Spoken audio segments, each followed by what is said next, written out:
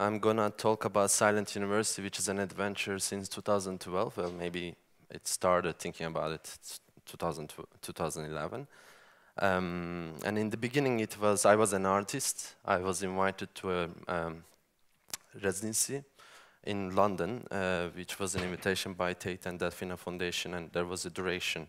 So uh, this whole thing was supposed to end uh, December 2012, and now here we are, uh, three years past.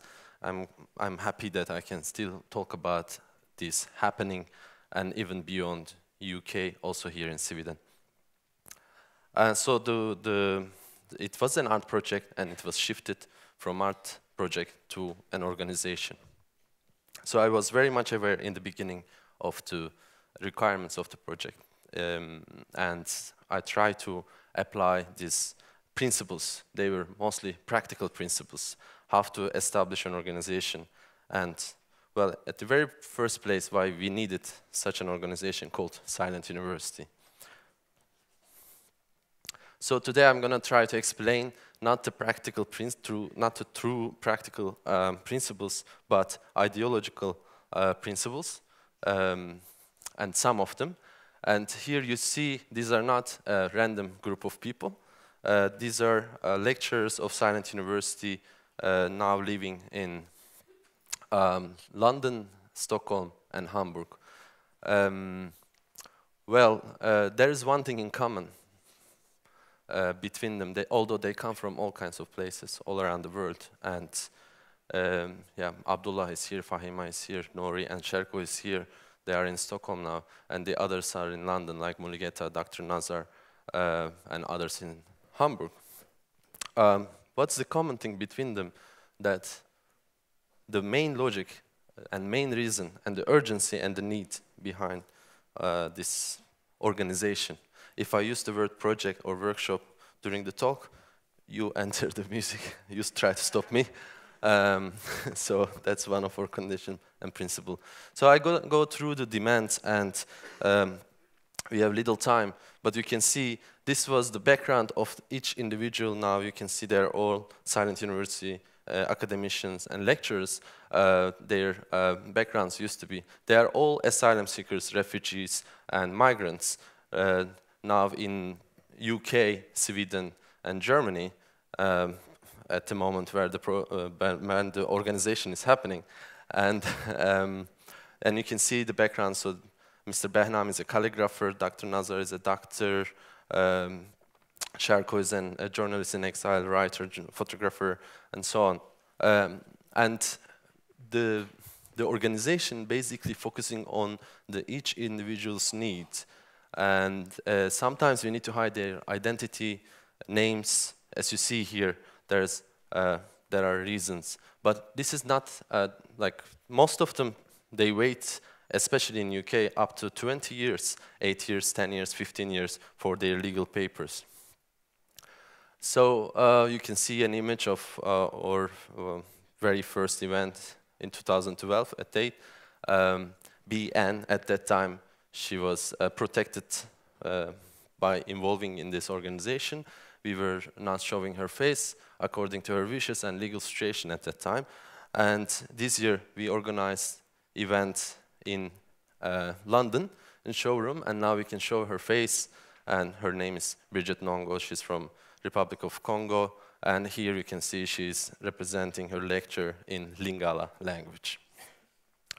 Um, I say Lingala language. So we don't also, so like activating knowledge without legal limitation, we are also demanding activating knowledge without language limitation. So here you can see Mr. Behnam and uh, Nouri Fakhri uh, presenting their courses in uh, their native languages, in Arabic and in Kurdish. And you can see as examples of lectures and topics, they also choose their topics according to their backgrounds.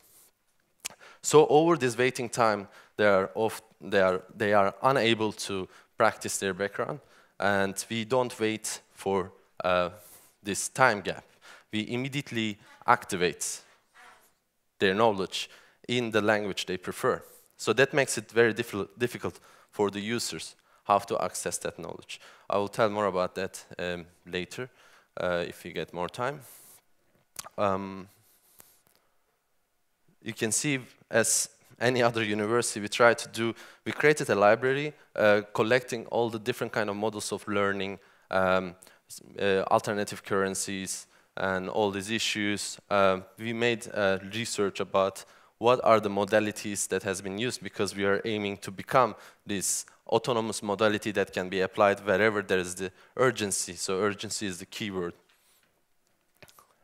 And uh, right now, um, there are some institutions uh, we still collaborate since the very beginning, and some institutions are changing over the years.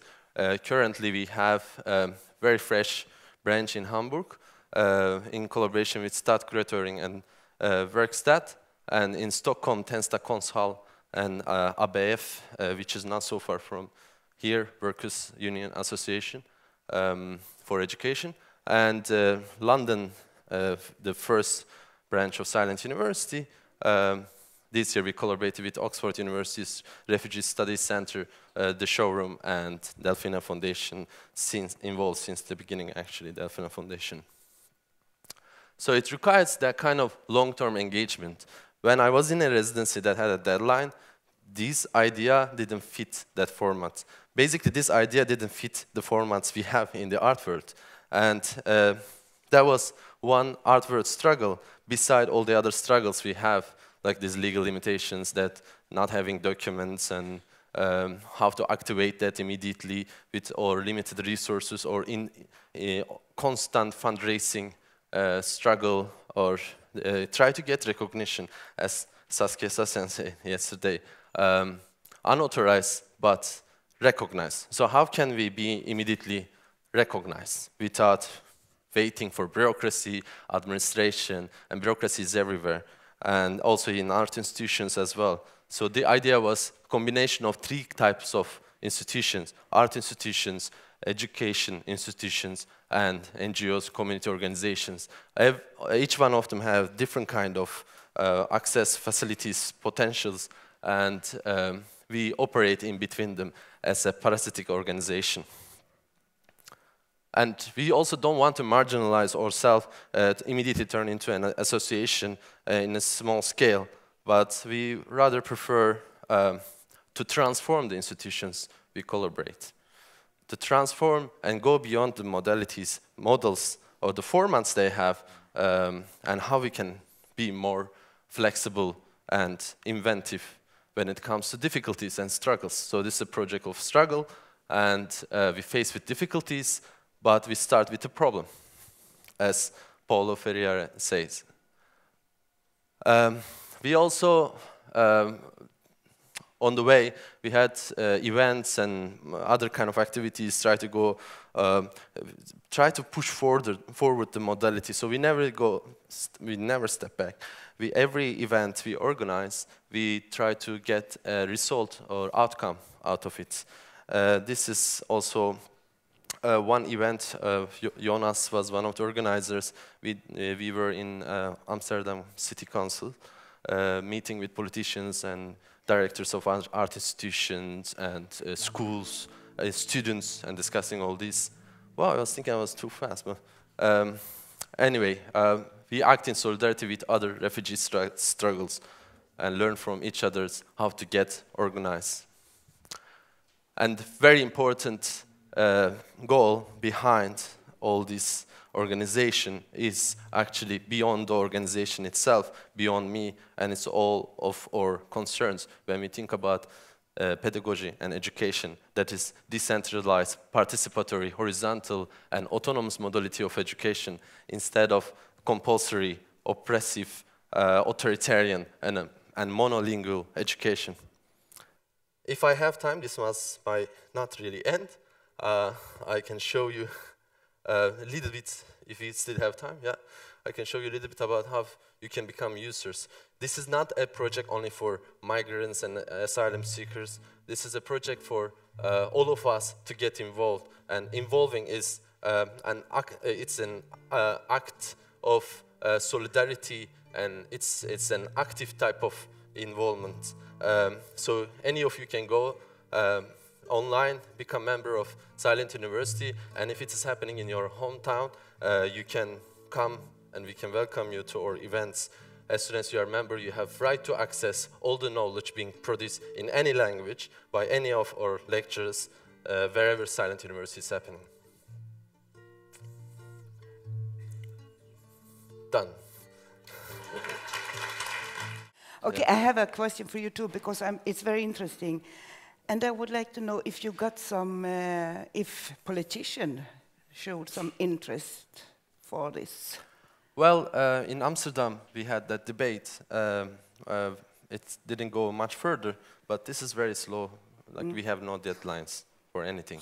That doesn't mean the situation is not like urgent. It's no. super urgent, and it, it, yeah. it has yeah. to be done now, right now. Yeah. But we are not in panic also. So politicians, uh, there was politicians who were interested, especially we were uh, presenting there with a group that they were since two years active, um, started as like around 200 uh, asylum seekers uh, occupying different buildings in the city and negotiating, constantly negotiating with the government and the mayor of the city. So it was a moment that we got, we got closest maybe. But uh, I think it will take two or three more years to get to that level, unfortunately. I do my best, but I think also it's important to have a really uh, strong infrastructure has been built underneath, uh, so it will not disappear like this. Okay, thank you yeah, very much.